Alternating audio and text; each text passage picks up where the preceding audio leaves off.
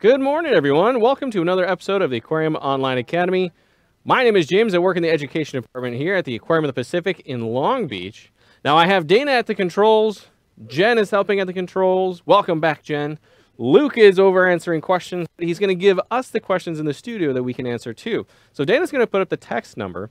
Now, there's going to be a lot of questions, but we may not get to all of them. We'll get to as many as we can. And any that we can't answer on air, Luke will be able to answer for us on the computer. But text this number right here at 562 286 1838 and we'll get your messages here in the studio. Now, we can't receive phone calls, but we do receive the text messages.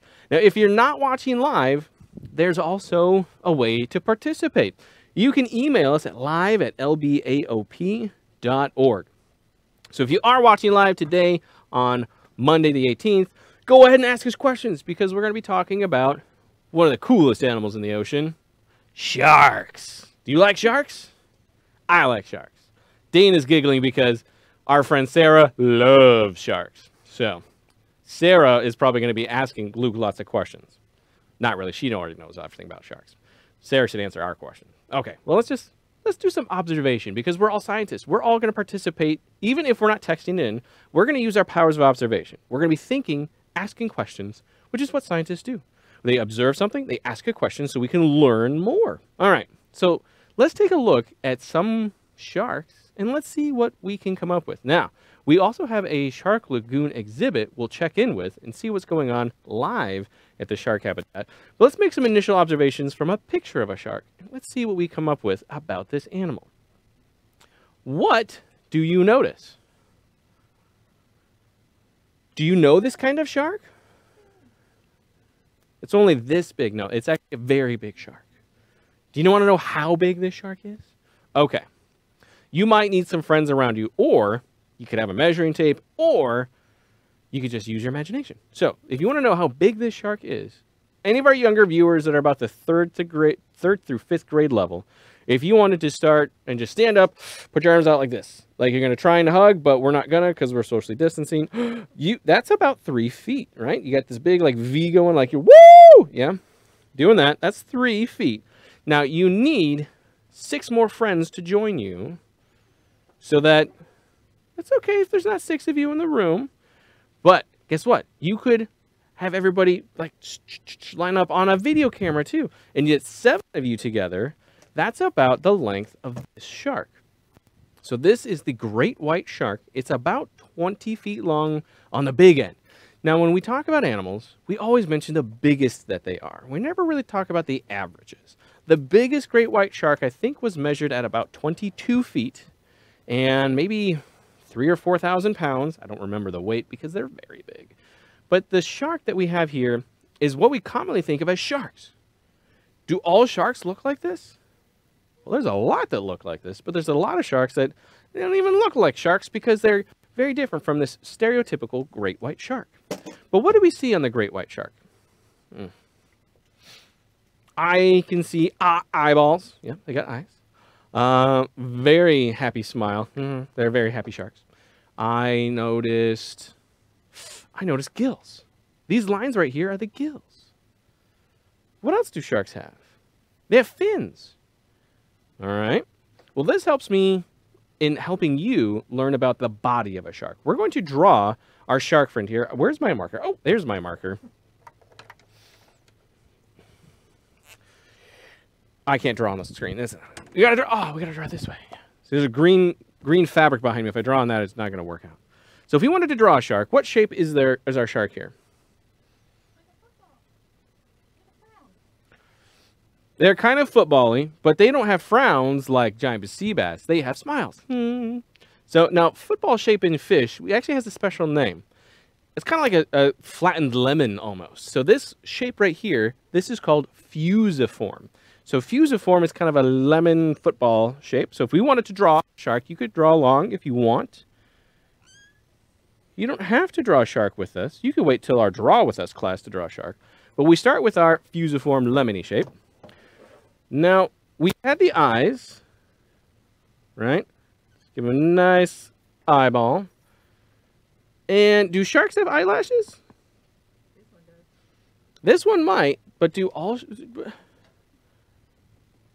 Well, sharks don't really have eyelashes. Do you see any eyelashes on our shark here?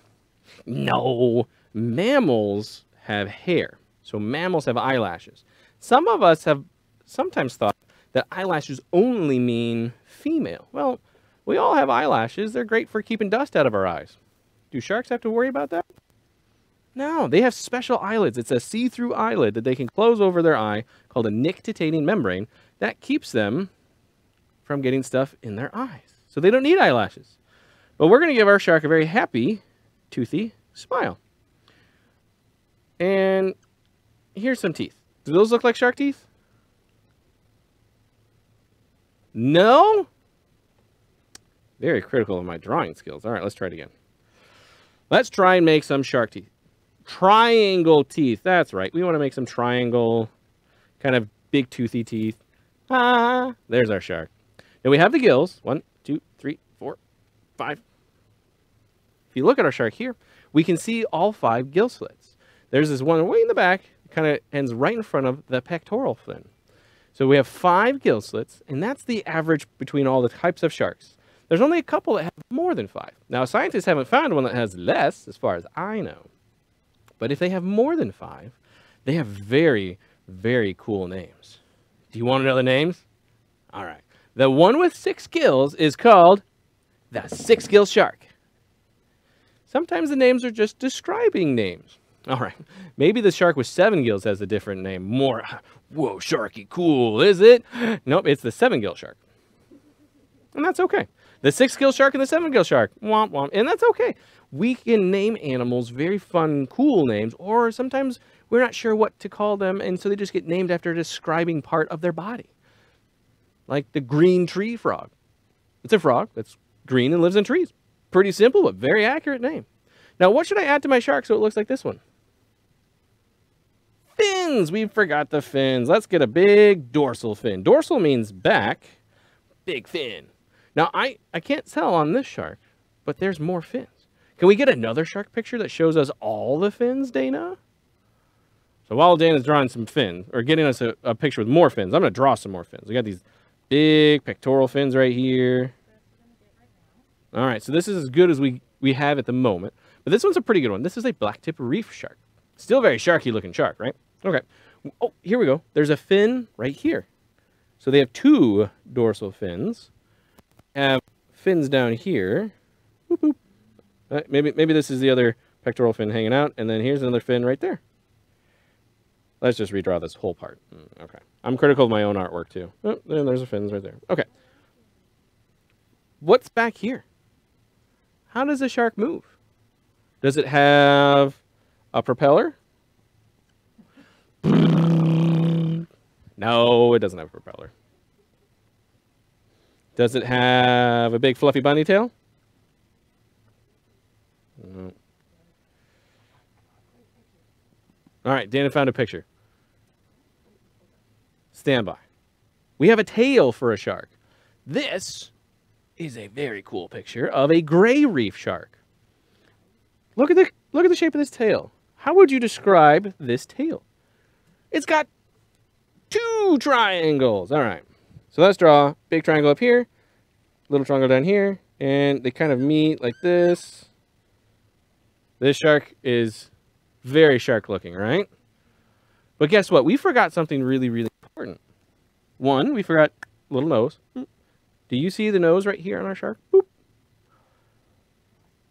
Sharks have very special noses. They have a pit. They don't breathe through their nose, not like, ah. They have a pit called a nare, and they can move water in and out, and that's how they would smell. Now, we had some cool questions coming in while I was drawing our shark, so let's ask, or let's answer some of the ones that you've asked. Andrew has asked, what is the smallest kind of shark? And what kind of sharks do we have at the Aquarium of the Pacific?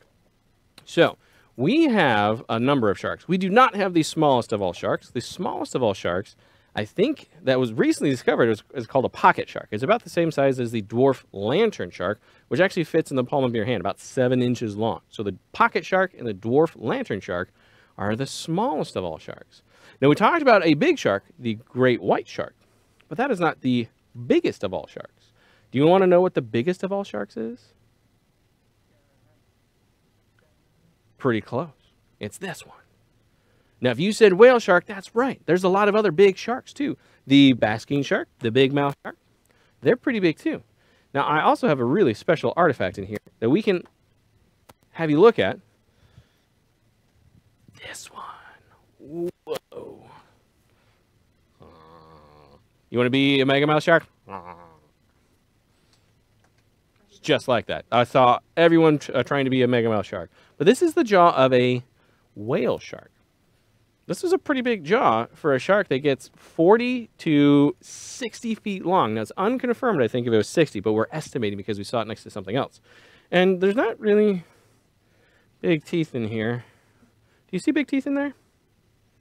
They have really little teeth. Now, I have a special camera we're going to try and find some teeth on. So hold on. Let me turn the light on our camera. Now, this is a kind of document camera. Now, it's not even big enough to, for me to put this on the camera, so I'm to have to hold it on the table in a very fun way and try to control the lighting. All right, you ready? Let's check out whale shark teeth. Let's zoom in. Zoom, zoom, zoom. Boop. Wait, wait, what? That's my finger next to all these little tiny, tiny teeth.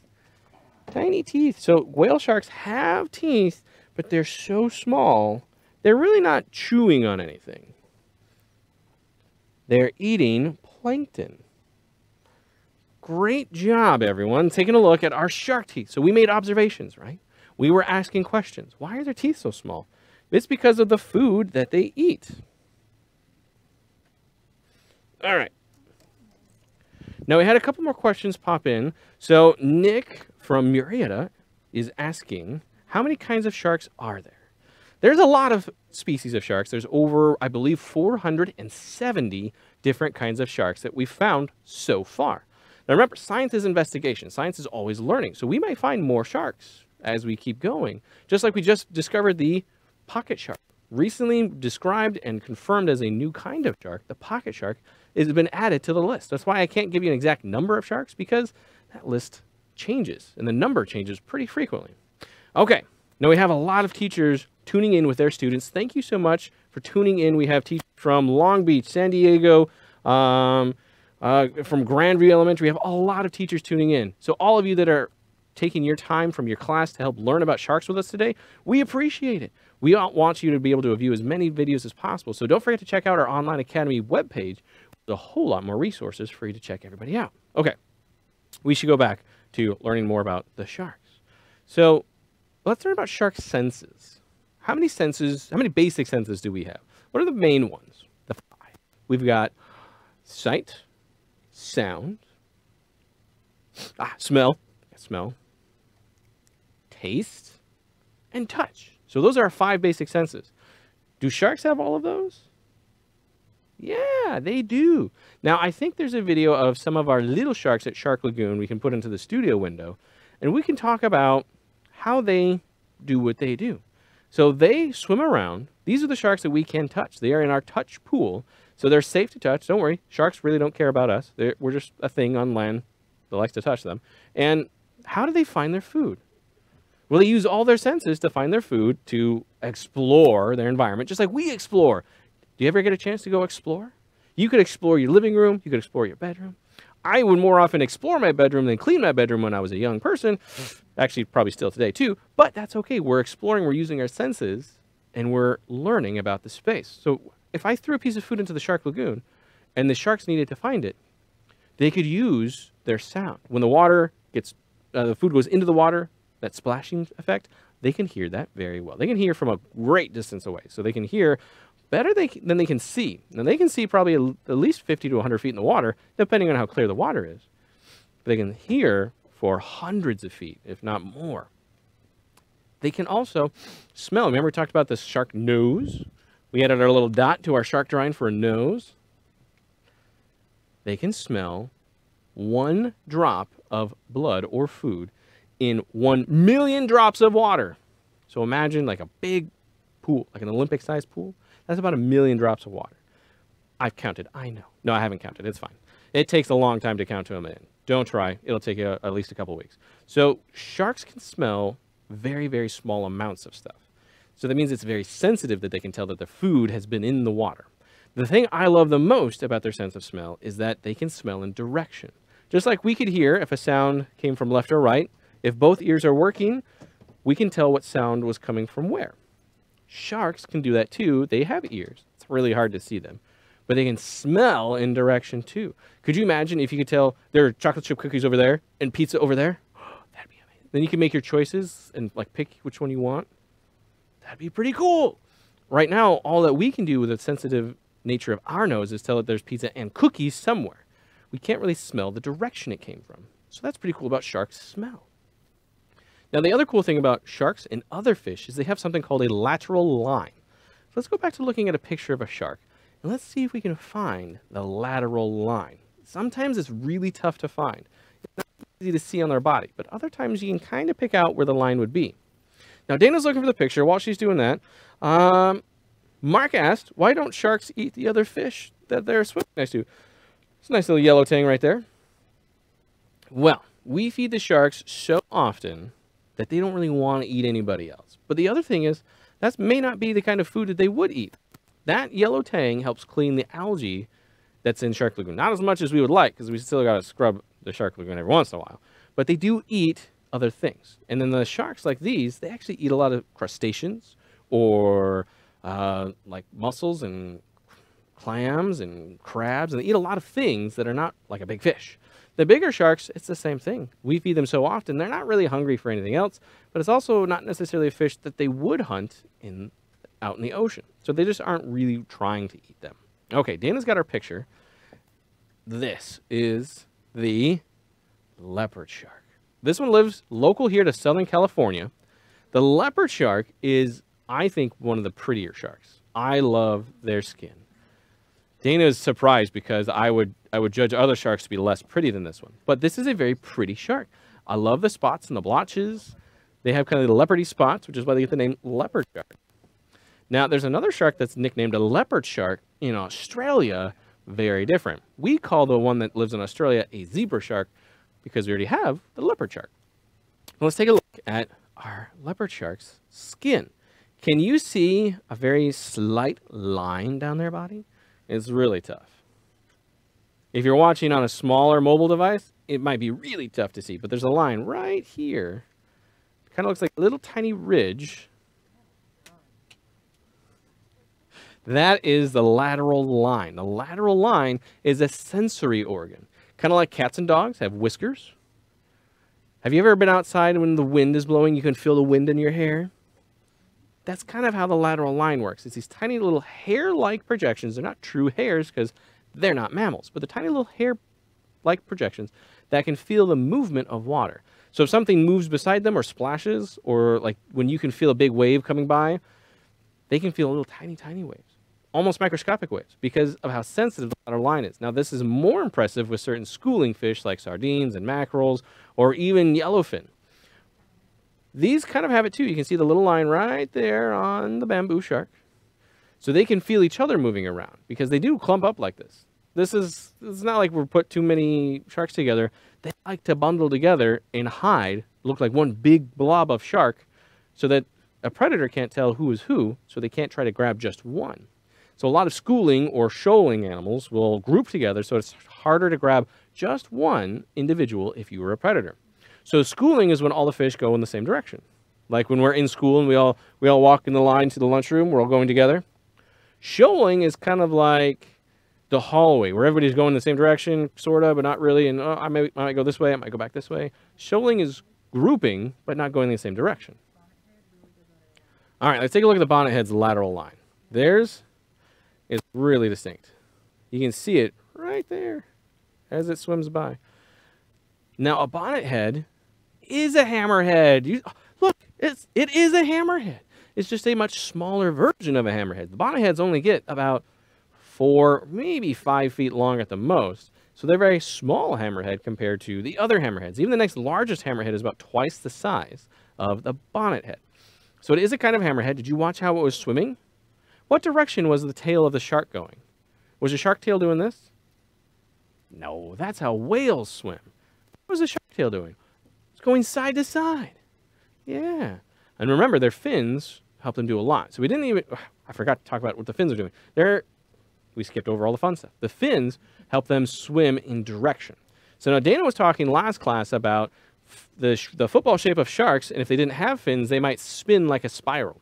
So when you watch their bodies, their whole body is moving. They're very flexible because their skeleton is made of cartilage. And when they're swimming, the tail is pushing. Right? If you want to be like big guy, yeah, we're to pretend to be him. Of do one of these. He's moving his tail.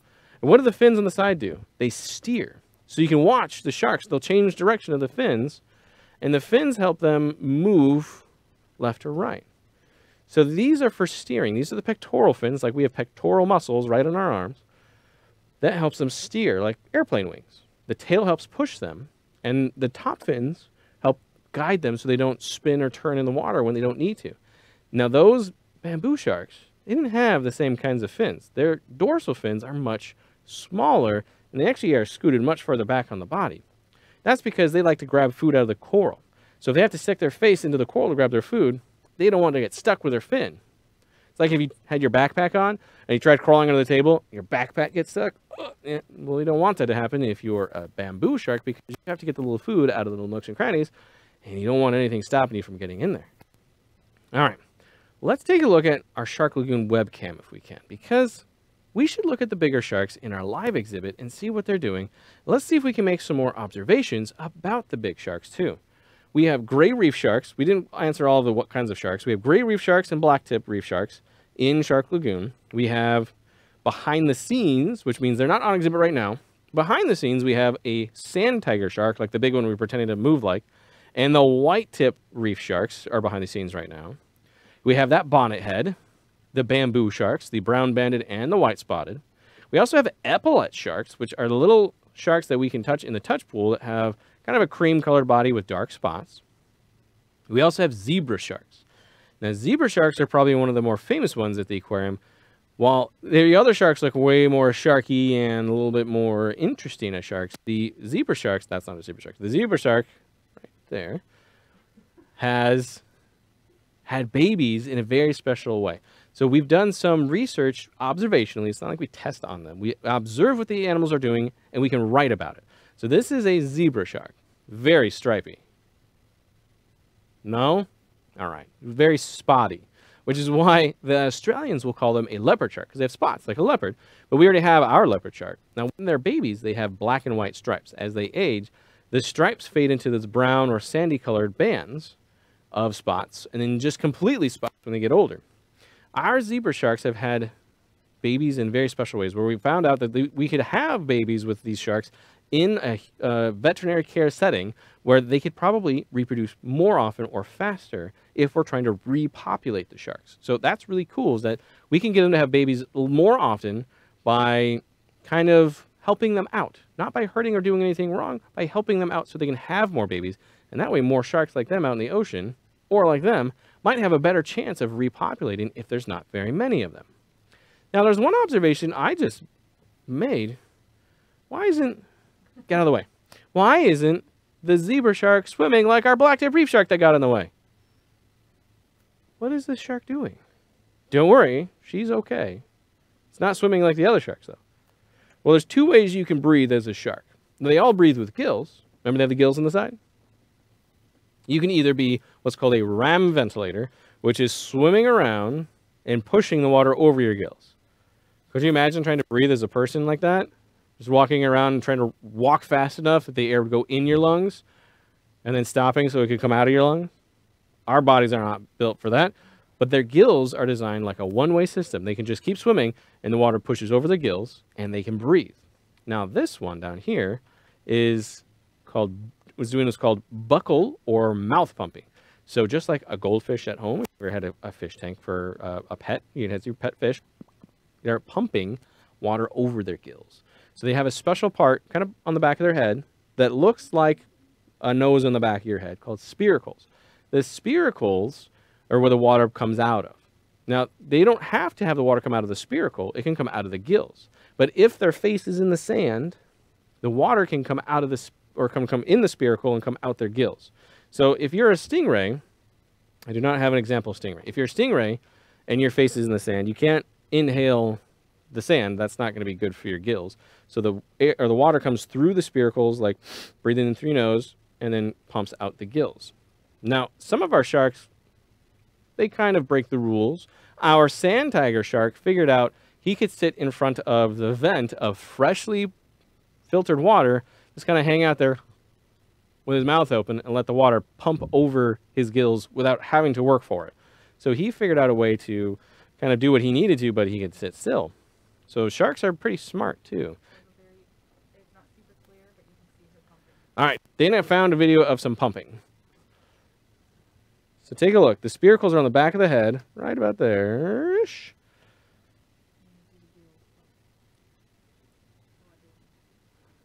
All right, let's watch it one more time. Now, it's kind of a darker video, so it's okay if you can't quite see it. But what you're noticing is that the gills right here, even though she's not moving, are pulsing.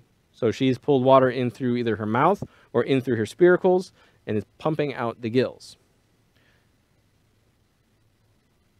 So sharks and rays, their cousins, can do all of this. All sharks have spiracles. It's just that some sharks, the spiracles are so small and reduced you can't quite tell that they're there anymore. So like the black tip reef shark, the great white, they're there, but they're so small that they don't really use them anymore.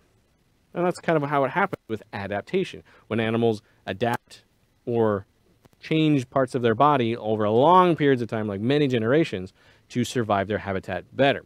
So if you didn't have the ability to pump water, but you needed to, those that could survive longer or have more babies more often than those that don't have that ability. So when things are adapting or evolving, it's because some characteristics of their body are more successful or better suited for where they live, and so they more often show back up in the population.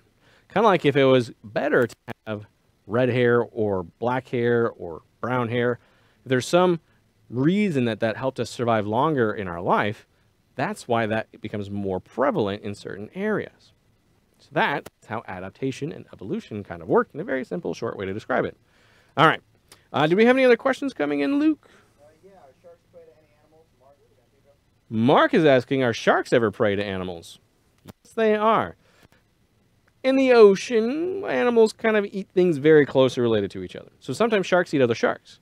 Or sometimes there's other animals that might try to eat a shark, like a sea lion can eat sharks. Now, they may not eat a great white shark because that's much bigger than them, but a sea lion might eat a small shark, like a swell shark, or even I've seen, I think uh, in California here, a thresher shark was being eaten by a sea lion.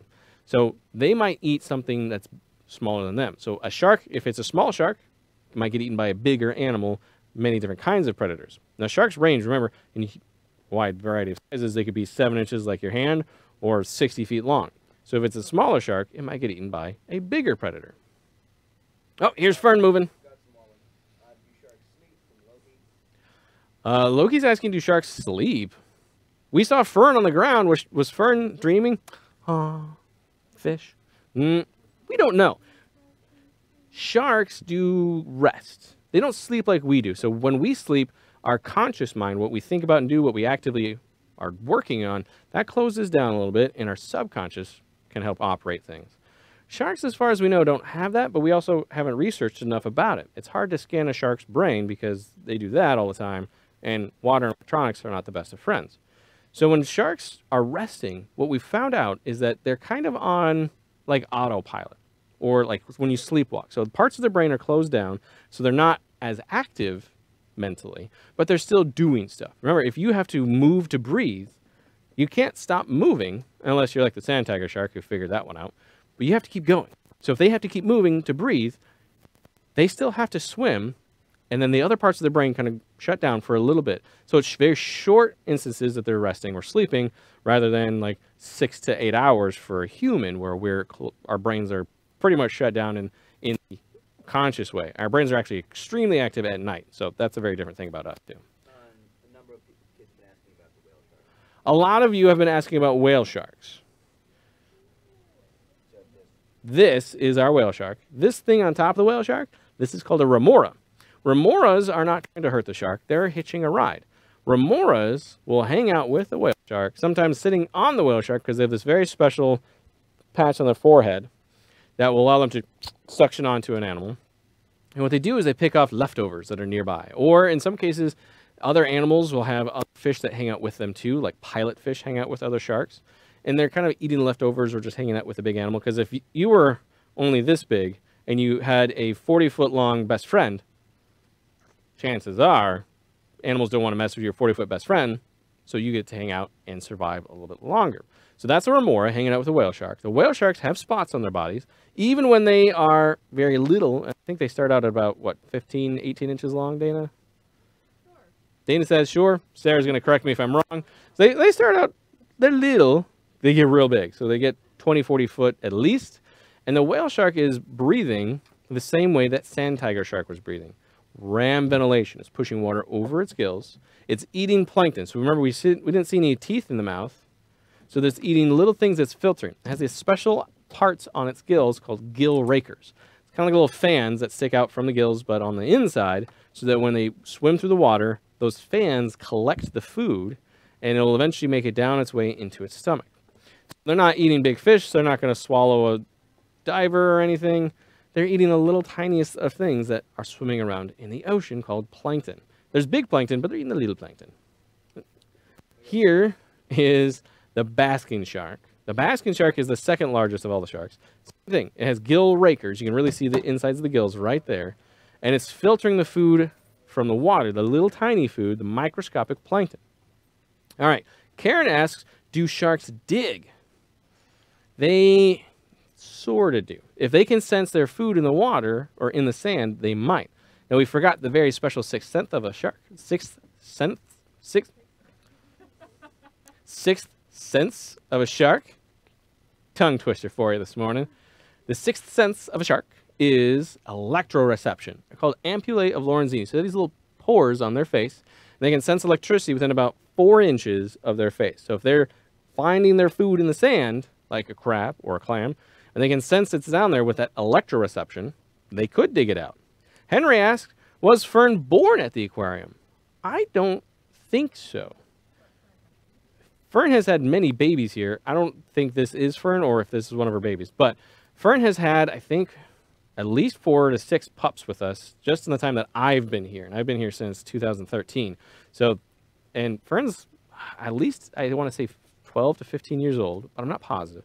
So she's had quite a number of pups here with us, but I don't think she was born here. We probably got her from another aquarium. Now, the Aquarium of the Pacific is in a partnership or kind of like a group we call the Association of Zoos and Aquariums. And that means we take care of our animals so well, we get this extra gold star on the list. It's part of all these groups of zoos and aquariums that are so good at taking care of their animals, so well maintained, that we get this extra special label where we're part of the Association of Zoos and Aquariums. And we share animals across this entire spectrum. So we might have a lot of baby grunt sculpins one day.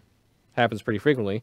And we might say, hey, is there another zoo or aquarium that would like some of these baby grunt sculpins? And we'll say, and they'll say yes, and we'll send them some grunt sculpins. If we have animals that we need to move to another facility because maybe they need to participate in some of their own reproductive research, we had a sawfish go to another aquarium because she could have babies with their male, and their uh, that species was critically endangered. So they wanted to look at what's the best way for them to have babies under human conditions or under uh, human care. So that's where she went to go help with that.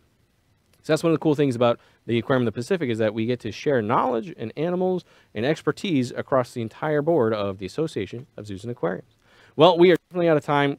We ran over, but that was cool of all your questions. I loved everybody viewing and learning about sharks today with me. We're going to have another program here at 11 o'clock, so stay tuned if you want to learn more at our Aquarium Online Academy. Now, don't forget, even if you weren't watching live, you can still email us questions at live at lbaop.org.